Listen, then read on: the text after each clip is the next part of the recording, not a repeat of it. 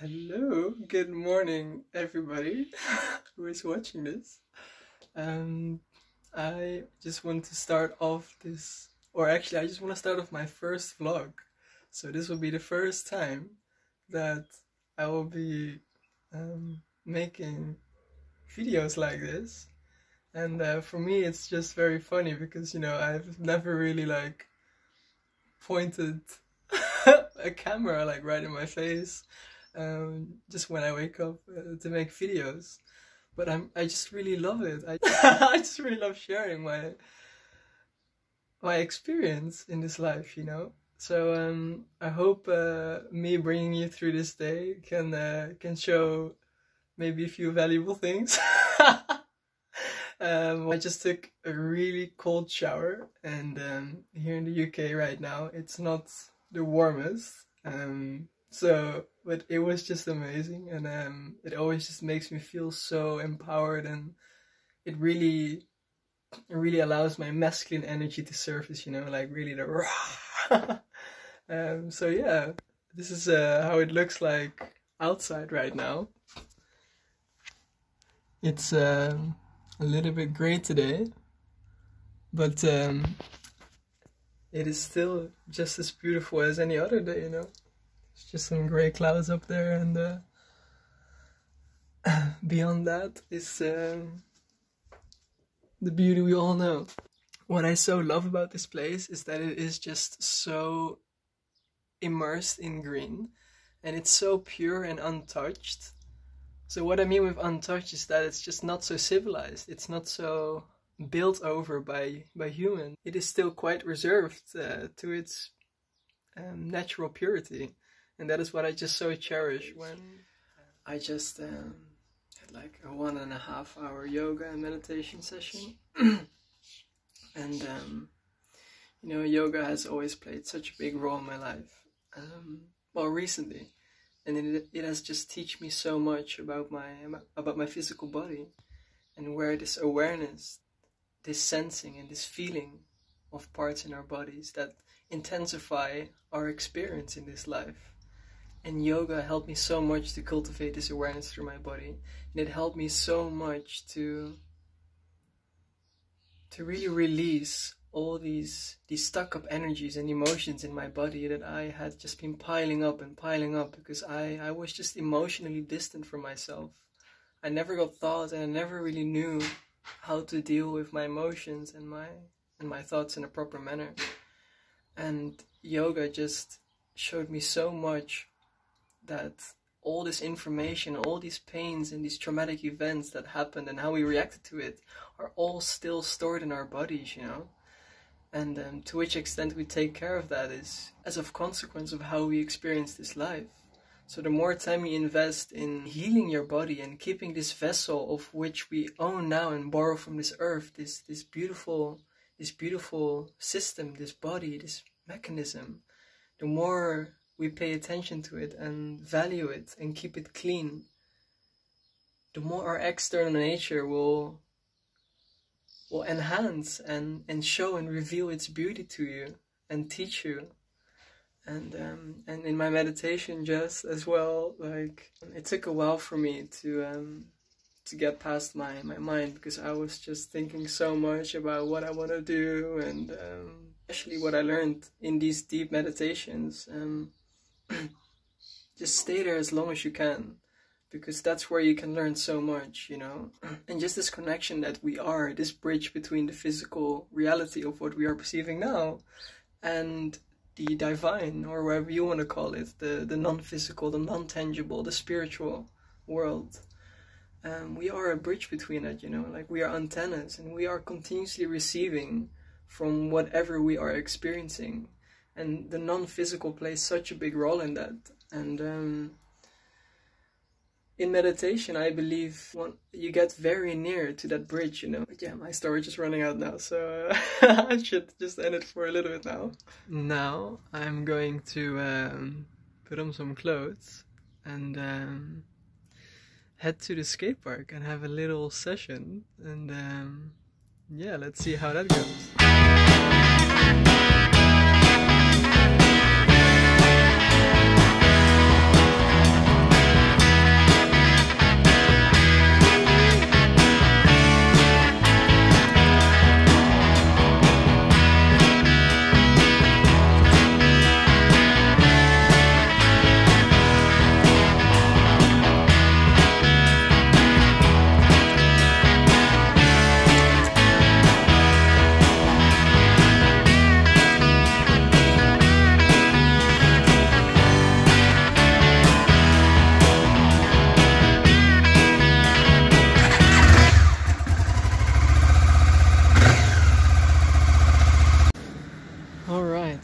something quite interesting just happened. Um, so I told you guys I was uh, planning to skate, and I actually dislocated my shoulder two weeks ago. And I was doing some karate kicks in my backyard, and I was getting so hyped, and the kicks were getting higher, and my arms were swinging all over the place. And um, I have like problems in my shoulder for quite a while now. And um, I believe it has to do with this kind of like backlash energy that um, that I should just stop skating because I've been doing it for 12 years non-stop and my life has been shaped around it. And this whole time now is about laying foundations for new hobbies and new interests in life and work with that you know? So um, life has been teaching me and showing me a lot that I should stop skating. And just as I wanted to do it I wanted to close the garage door and the whole thing just broke so it it didn't let me leave you know? And then I just realized yep like uh, I should not skate today. So um, I closed the garage door and um, yeah, now I'm gonna head out for a little ride and bring you guys with me. So. Uh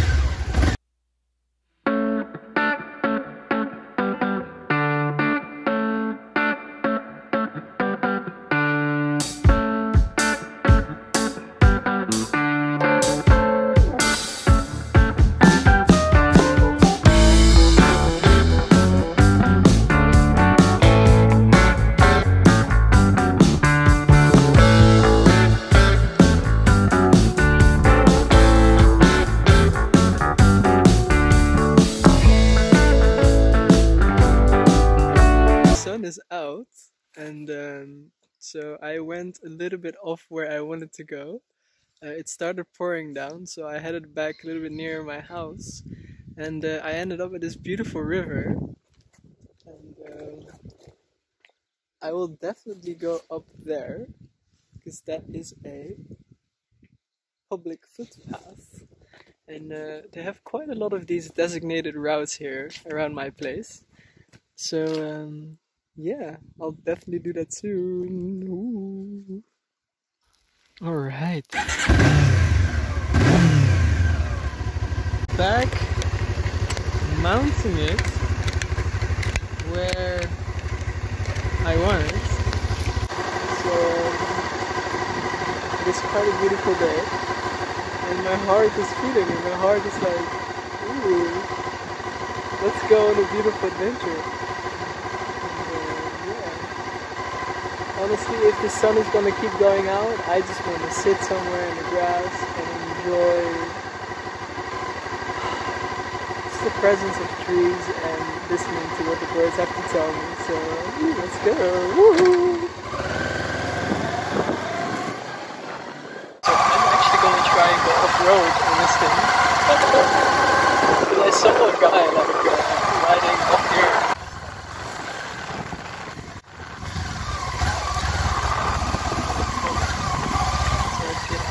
just rain, so I don't know if my bike is like, holy shit, man.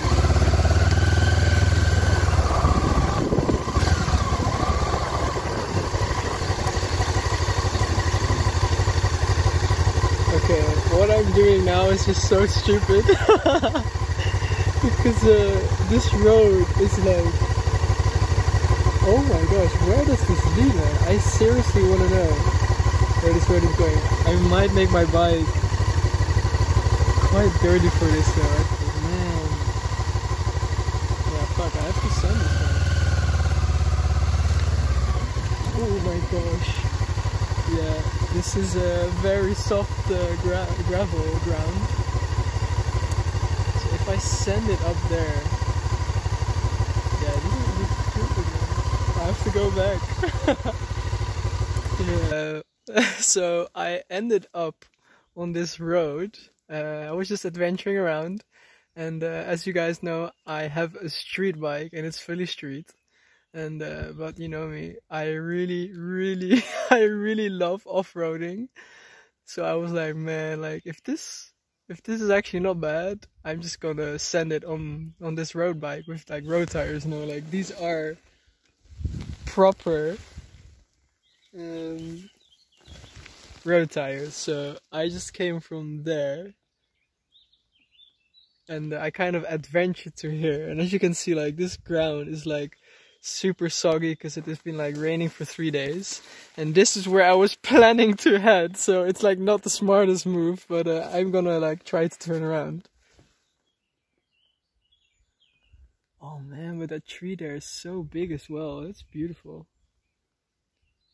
Man, I want to see what's up there to be honest. Like this is so cool. So the birds are speaking their language. And they are telling me, Chandon, just go up that road. So I'm going to take the stupid decision to try to go up there and see where um, this is going to take me. Let's see how this will turn out.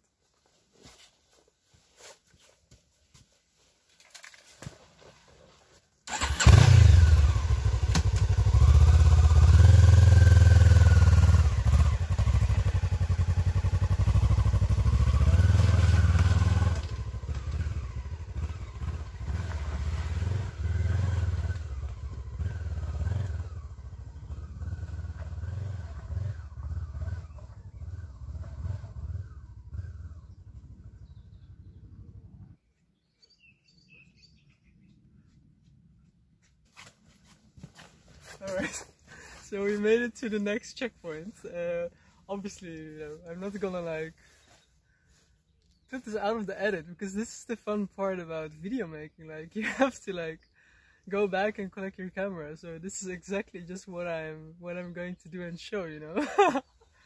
so without off-road tires and in the complete muddy terrain, it's possible.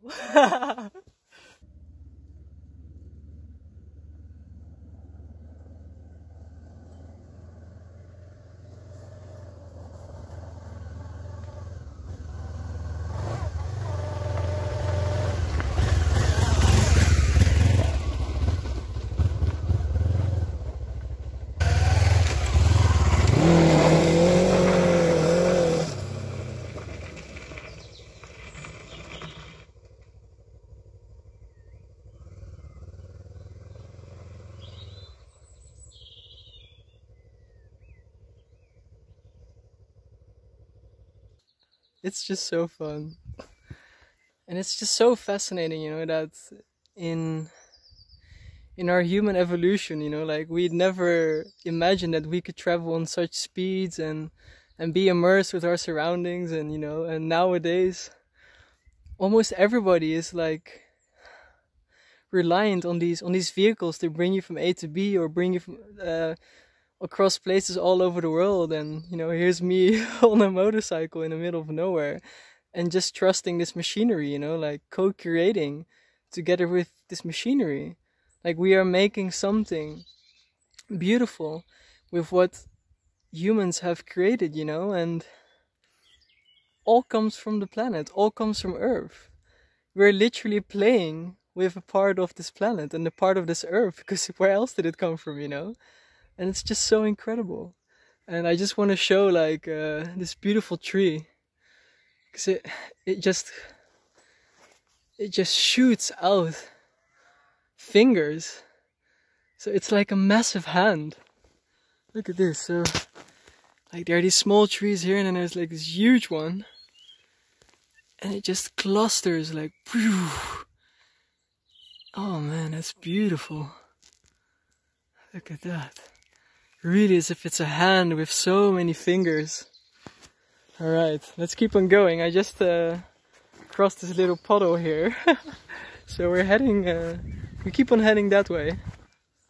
Oh, Man, the UK is just so vivid and so full of green. I just love it. Alright, we're going that way. Okay, so we kind of made it through that path and uh, it was actually not that easy. It, we managed, so um, got back on the road and uh, let's see where we're going next. Uh, I actually recognize this place because I've bicycled here before. So let's head straight.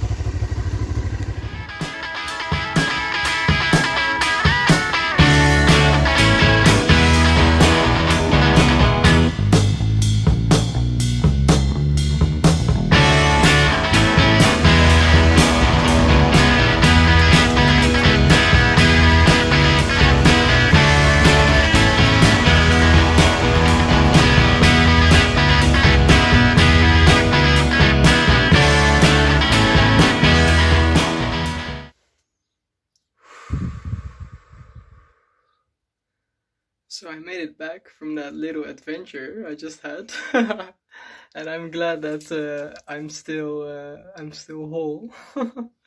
so um, I'm just gonna eat a little bit and then head to the forest with you guys. So. Um, so just I um, kind of decided to go to the forest, I um, I ended up staring at the sun again because the sun came out, and it just reminded me of um, of the fact how how powerful the sun actually is, you know, and that there's a reason why ancient civilizations and ancient cultures and traditions worshipped um, worshipped the sun, the sun god.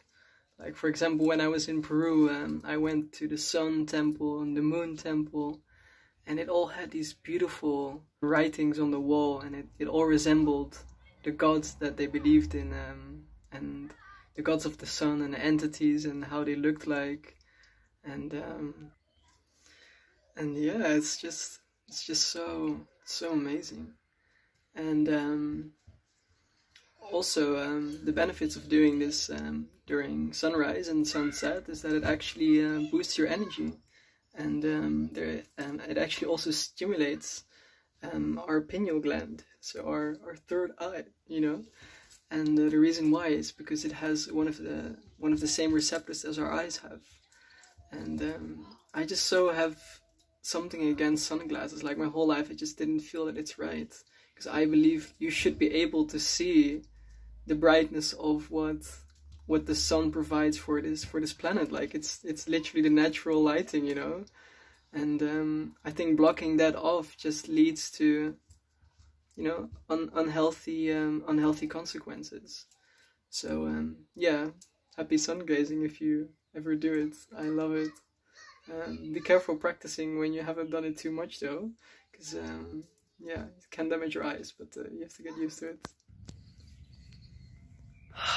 just take a look at this beauty, man. Like, oh my gosh.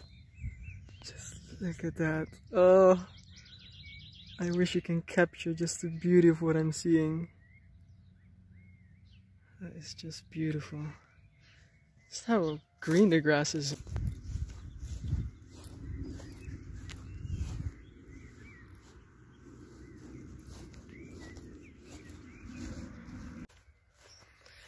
So I was just uh, I'm just walking, and um, you know I do this almost every day to just walk to the forest and usually take different routes, um, which I will show you.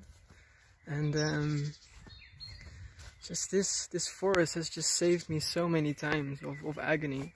Like there have been so many times where I just feel such an intense sadness, and this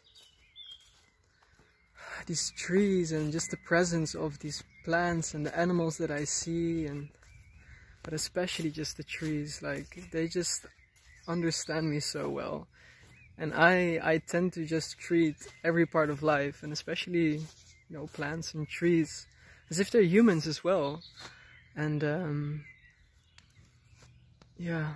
Of one's mind that can come in the way of one's experience of what he or she is is witnessing you know i so encourage everybody before you take a walk or during your walk in um, in a forest as it is a very meditative practice and i talk about meditation a lot this process of meditating it's it's not only such a heart opener where you will witness and perceive this reality difference but it uh, it helps you create distance between your mind and your awareness because um, our mind it tends to it has this magnetic pull that likes to immerse our awareness within that thinking mind. And it loves to just keep on running and going. And in meditation it just leaves you in this state of consciousness where you're just completely full and undisturbed by the mind. And you can really truly witness the beauty of everything without any conceptualization. So without any concept of what you're seeing, because your mind tends to conceptualize things, you know, it tends to put things in categories. But once you can put that aside and truly witness the truth of what this creation is, which is uncomprehendable in one's mind, meditation does the job. So uh, I'm gonna head into the forest now and see um, what else, what I'm going to learn and how it'll make me feel. So, Three little trees at the back of me, singing sweet songs of melodies pure and true as I'm going and walking my way through the forest.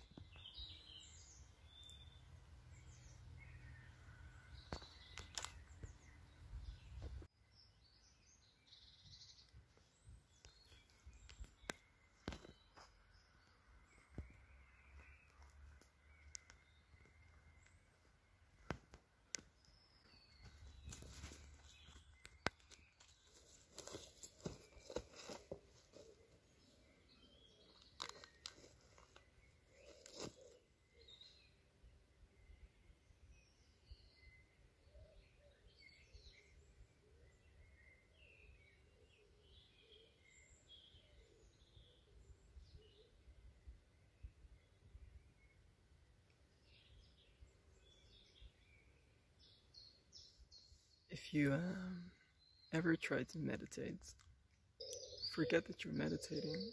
Just, just be. It's very important to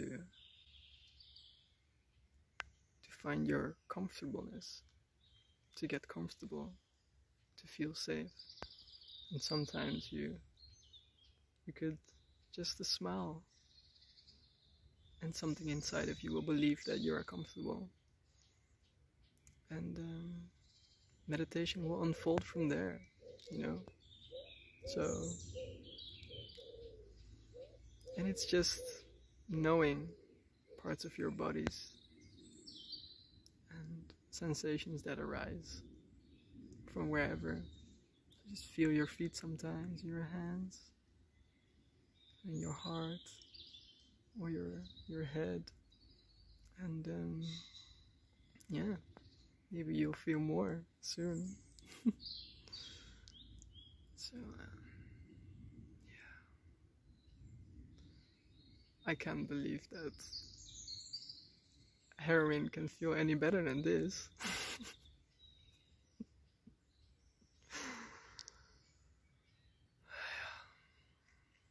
Why smoke a joint if you can just feel uh, just as high? So before I laugh my my uh, my head off, I'm just gonna continue listening. So something so strange just happened. I just did a stretch, you know, and I um my hands touched the ground, you know, like the forward fold, I think they call that. And as I as I rose up, I opened up my chest, I just felt so much energy releasing through my body, like from, and it went all the way to my head, and I just kind of like fainted, you know? I just kind of like, it was just too much. After you do these meditative practices, your your heart rate drops a lot, and basically all cells in your body just shut up, you know?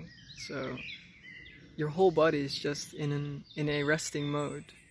And um, they also say that three hours of meditation is is like equal to like eight or ten hours of sleep. Something like that you know like i just saw a fox and we stared at each other for like three three good seconds you know. It was um was kind of a red brownish one. And um yeah just animals here are so amazing. Like i've I've had so many encounters where there it just ends in stare battles, you know, and making weird sounds at each other. It's so amazing because animals are just as interested in us as we are to animals, you know. But to find that comfort within this mode of survival is just a big leap and uh, it's hard for everybody like a lot of us people are scared for spiders because we don't know so just imagine how afraid animals are, you know? There's so much evidence that animals they trust people eventually and I believe they are more receptive than than us in general because they just carry out and do and maneuver through life in such a way that they're designed and designated to function. You know, they have to be aware all the time, and they have to understand each capability of their body that has gone obviously through millions, trillions of years of evolution on this planet, which is stored in them to carry out what they're doing now. You know, so it's just so fascinating to see animals, and it's it's just so beautiful if if animals actually can get comfortable with us because we're also just animals, you know. And it's not even fungi season. Like that's that's far from now. It's just so fascinating. All how diverse it is. How all these different kinds of of plants like grow on this tree, you know. And it's just so fascinating to like see how this works. How the selection of nature reveals itself right in front of you. And as I was just like watching this, you know, like this beautiful tree stump, right left to it might actually be the same tree. Maybe, you know, like maybe this tree right here is actually from this tree, you know? maybe just like passed on to like, alright, let's uh, let's start over again and live another beautiful life. Just like all these beauties right here, you know? Which actually all communicate with each other and talk and feel. And they radiate a these trees and plants, everything radiates a certain energy. And one can immerse with this with this energy. This these forests can make you feel as if you can feel the entire forest. There is just no such thing as as the pollution of humanness here. This is just pure creation. This is just pure nature, you know. And I'm not saying that humans are not nature, but um, we do tend to uh, build things in such a way in which we nowadays desire because uh, we cannot really uh, get enough from what we actually have that we always want more that it um, kind of less liveness in uh, in our surroundings nowadays so um, just um, being in the forest can remind you of of the purity of this creation again and uh, yes why I just love walking in forest I will do it every single day of my life if I can. Alright, just gonna continue walking. Oh, there's another deer there. Oh, actually, it's not a deer, it's like a little. Oh man, I wish you could see it. Um, I forgot the names. I gotta ask my my dad what the name of that is. Yeah it's such a forest where you can just feel so intimate because you're surrounded all over and it's so diverse. Like, look at this. Like all these beautiful purple flowers. So I just got back home from the forest and my phone died. Um, actually, whilst I was recording, so I'm just so, so grateful that actually did save. So I'm just so happy for that because it was like a three minute video uh, of like the last clip, you'll see and um, yeah, I just got home and made my dinner. And um, nowadays, I just feel like I I only want to eat fruit. Um, well, I do eat some vegetables in the morning, and uh, and beans, of course. But uh, I mean, like, I tend to just eat uh, fruit in the evenings now. So uh, this is what I have. It's um, a fruit salad with apples, pears, and melon and nuts and pumpkin seeds and oatmeal and um, and pomegranate. Um, oh yeah, and blueberries, if I didn't say that already. so I'm gonna enjoy this now. And um, yeah. Ooh. Food is just such a blessing.